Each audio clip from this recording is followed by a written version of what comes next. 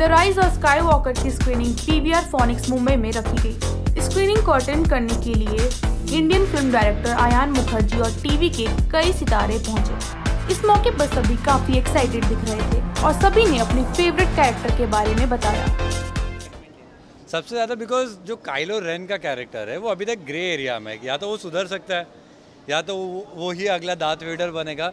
तो सबसे ज़्यादा वो क्लिफ हैंगर और हमें वो पार्ट देखना है। Solo is my favourite Han Solo and अभी जो आया है young the small one the master उनका मैं नाम बोल योडा हाँ द किड योडा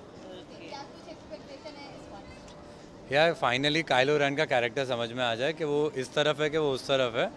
एंड जेडा अभी बोल रहे हैं कि last Jedi the Jedis have ended let's see where it goes या मुझे तो अ, मैं तो जैन के साथ था मुझे पता भी नहीं है मैं कौन सी फ़िल्म देखने आया हूँ. सो हाँ he is the right person ये क्वेश्चन का आंसर करने के लिए।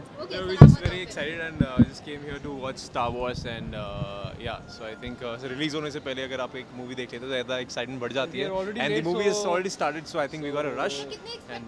बहुत बहुत ही ज़्यादा।